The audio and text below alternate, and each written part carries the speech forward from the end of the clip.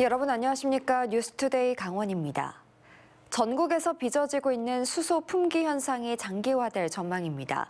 강원도에서도 충전소가 아예 문을 닫거나 차장 손님들을 돌려보내고 있어 운전자들의 불편이 커지고 있습니다. 김도균 기자의 보도입니다. 수소 충전을 하는 차량 뒤로 긴 차량 행렬이 이어져 있습니다. 수소 충전소마다 비슷한 상황이 며칠째 계속되고 있습니다. 지난주 일요일을 마지막으로 충전소에 수소가 들어오지 않았는데 나흘 만에 수소를 실은 튜브 트레일러가 들어왔습니다.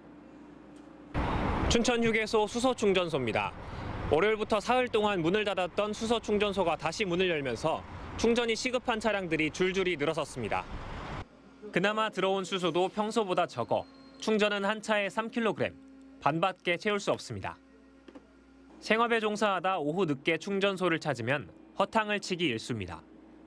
예, 엊그저께도 충전하러 왔는데 없어서 못했고 돌아갔거든요. 근데 오늘 또 이제 여- 또 충전이 됐다고 해서 왔는데 또 안 된다고 해서 지금 좀 당황스럽고 좀 난감한 상황입니다. 강원도 내 수소 충전소는 12곳, 지자체 직영 7곳, 민간업체 5곳입니다. 시군지경은 오히려 평소보다 넉넉하게 수소를 확보했습니다. 그러나 민간업체는 달랐습니다. 대부분 현대제철 당진 공장에서 수소를 공급받는데 설비 문제로 이달 초부터 공급에 문제가 생겼습니다. 결국 민간 충전소가 며칠 문을 닫거나 충전량을 제한하면서 지자체가 운영하는 충전소로 차량이 몰린 겁니다. 많게는 4시간 이상 기다리거나 허탕을 치는 경우도 있어 수소차 운전자들의 불만이 극에 달하고 있습니다. 항상 이렇게 되면은 차산 게 후회가 되죠. 기름차나 디젤차 같으면 이렇게 없었는데 수소 충전 대란은 다음 달 말까지 이어질 것으로 보입니다. 강원도는 근본적인 문제를 해결하기 위해 2026년까지 동해와 평창에 생산 기지를 건설하고 지자체 운영 수소 충전소 확충과 함께 민간 충전소 업체도 추가로 유치하겠다고 밝혔습니다. MBC 뉴스 김도균입니다. 최근 강릉시 의회가 비공개로 경남 거제와 경북 경주로 외유성 연수를 다녀온 사실이 밝혀지면서 시민들의 비판이 거센데요. 음, 이와 관련해 강릉의 시민단체가 성명을 내고 재발 방지를 위한 조례, 마련을, 조례 마련을 촉구했습니다. 김인성 기자가 보도합니다. 강릉시 의원 15명과 의회 사무국 공무원 19명은 지난달 31일부터 사흘간 경남 거제와 경북 경주를 다녀왔습니다. 강릉시 의회는 이 내용을 홈페이지를 비롯한 어느 곳에도 공개하지 않아 비밀 연수, 몰래 관광이라는 비난이 일었습니다. 경남 거제시 의회의 초청으로 거제시를 다녀왔다는 해명을 확인하기 위해 이 내용을 취재하던 취재진에게 강릉시 의회 사무국은 정보 공개 청구를 하라며 해당 내용을 공개하지 않고 있습니다. 이 같은 사실이 MBC 강원영동 보도로 알려지자 강릉의 시민단체 강릉시민행동이 성명을 내고 강릉시 의회와 의회 사무국을 비판했습니다.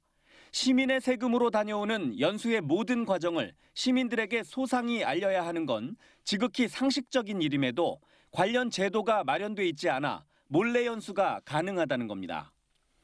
당연히 진작부터 투명한 어, 그 연수를 했어야 됨에도 불구하고 그동안 이루어지지 않았었고 이번에 이제 예유성 연수가 있고 난 이후에 의회 의장도 어, 제도 개선에 대한 필요성에 대해서 공감한다고 얘기를 했으니까 김기영 강릉시 의장은 지난 3일 MBC 강원 영동과의 인터뷰에서 국내 연수도 관련 제도를 마련하겠다고 약속했었습니다. 얼마든지 그렇게 해갖고 할 필요가 있죠. 다 지금은 이제 모든 걸 다 투명하게 공개하고 뭐 할 수 있으니까 뭐 그것도 필요하다고 봐요. 강릉 시민행동은 강릉시 의회가 이를 지키지 않을 경우 주민조례 발의 제도를 추진하겠다는 뜻도 밝혔습니다. 의회에서 필요성에 대해서는 공감했음에도 불구하고 어, 제도적인 보완책을 만들지 않는다면 주민 청원 조례 발의라도 해서 반드시 이번 기회에 만들어야 된다. 강릉시 의회와 의회 사무국이 시민들의 약속 이행을 촉구하는 요구에 어떻게 반응할지 지켜볼 일입니다. MBC 뉴스 김인성입니다. 원주 혁신도시가 완성된 지 5년 차에 접어들었습니다. 이전 공공기관 임직원들은 혁신도시에 남자고등학교가 없어 자녀들이 먼 거리까지 통학하는 경우가 많다고 호소하고 있습니다. 해결 가능성은 있는 건지 윤하은 기자가 취재했습니다. 이른 아침 등굣길. 혁신도시를 출발해 가장 가까운 남자 단성 고등학교인 원주고까지 가는 버스가 금세 학생들로 가득 찹니다. 배차 간격을 잘 맞춰 한 번에 가는 버스를 타면 30분. 그 버스를 놓치기라도 하면 멀리 돌아가는 버스를 타야 합니다. 혁신도시가 자리 잡은 방곡동에는 남자 고등학교가 없기 때문입니다. 직통 노선이 없기도 하고 주위 학교가 그렇게 남과 많은 것도 아니라 좀 그런 쪽이 좀 저희한테는 불편이 있는 거죠. 번거롭지만 어쩔 수 없이 자가용으로 자녀 등하교를 돕는 학부모들이 적지 않습니다. 신도시에 남자 고등학교가 없어가지고 제 출근하는 길에 같은 방향에서 매일 아침 등교를 데려주고 있습니다. 혁신도시 이전 기관 임직원들의 가장 큰 불만 사항 중 하나가 바로 이 남고 부재 문제입니다. 조성 초기부터 지속적으로 요구하고 있지만 달라지는 게 없다는 건데요. 해결책은 있을까요? 강원도 교육청은 원주의 고등학교 신설은 불가하다는 입장입니다.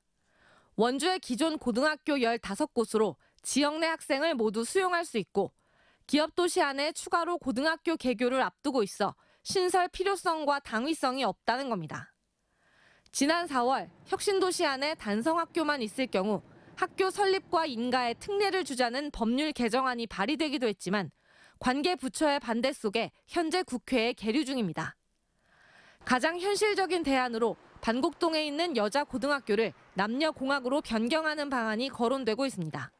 하지만 이 경우 원주의 고등학교 전체 남녀 성비를 맞춰야 해 비슷한 규모의 남고 한 곳이 동시에 전원해야 하는 제약 때문에 그동안 추진이 쉽지 않았습니다.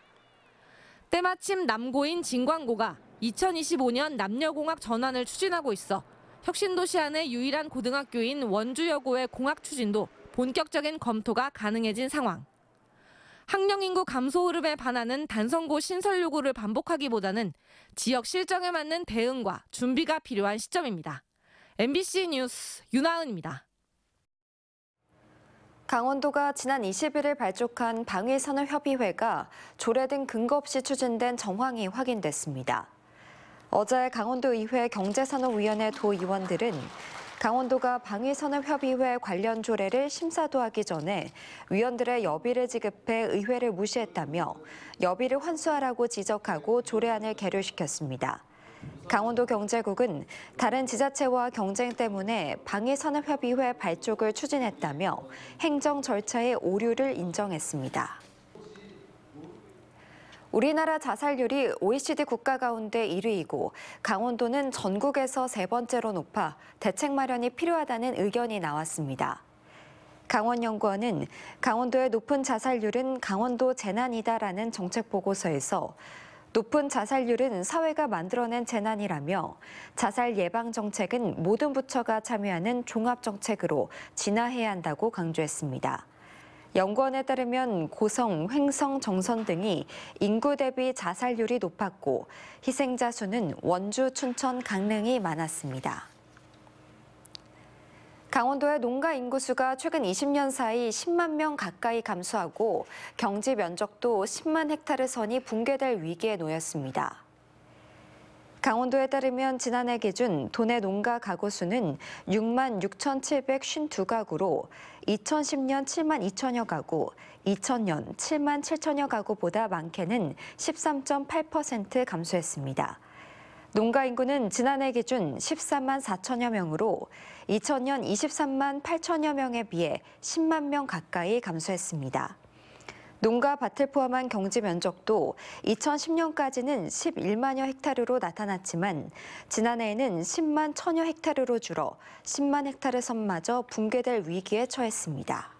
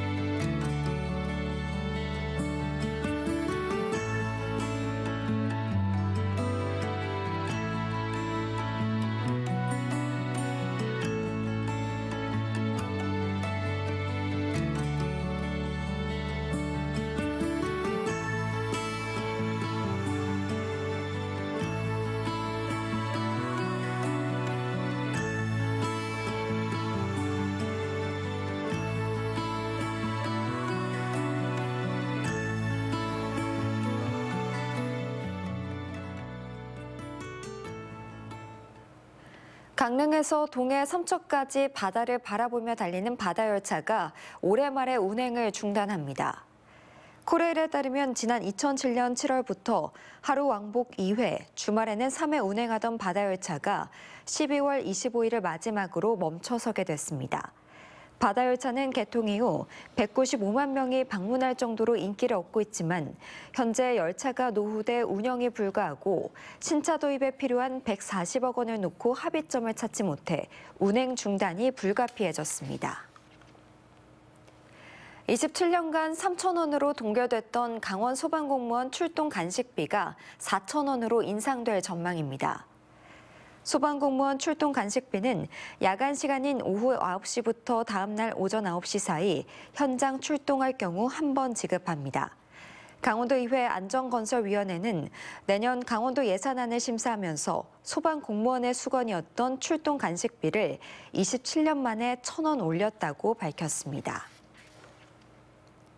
겨울철 재해 우려가 있는 농가가 200곳이 넘는 것으로 확인됐습니다.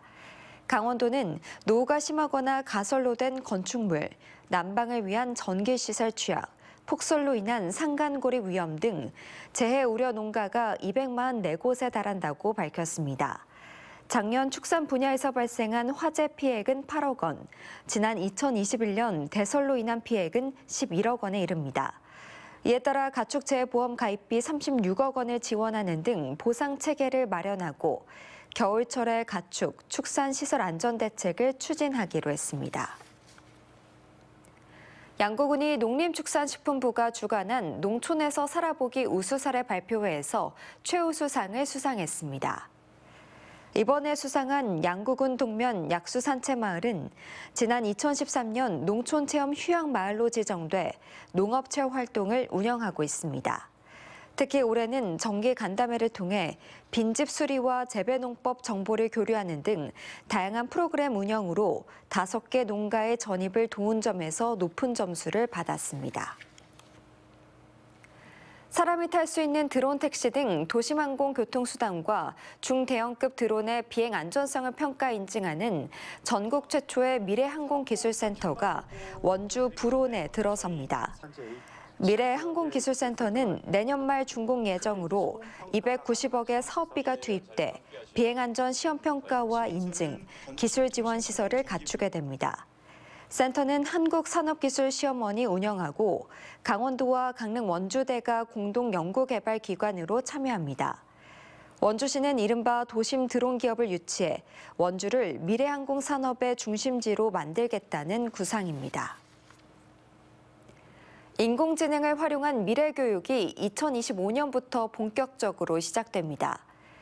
강원도 교육청은 서울, 인천, 제주 등 전국의 10개 교육청과 함께 인공지능 맞춤형 교수학습 플랫폼을 개발해 오는 2025년 3월 서비스를 시작한다고 밝혔습니다.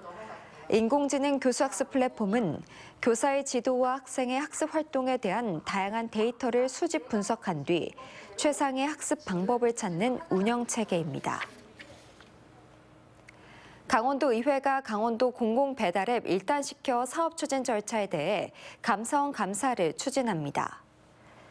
강원도의회 재정초율화 특위에서 강원도가 앱 운영 사업자를 선정 전에 의무업체 한국과 세 차례 만난 것에 대해 공정성에 의문이 든다는 지적이 나왔습니다. 강원도는 업체 선정과 운영 과정에서 어떤 특혜도 없었다고 반박했지만 도의회 재정효율화 특위는 의혹의 해소를 위해 감사원 감사 의뢰를 결정했습니다. 강릉시가 오는 25일부터 네이버 메타버스 플랫폼인 제페토에 강릉 중앙시장 맵을 열고 가상 체험 공간을 구현합니다.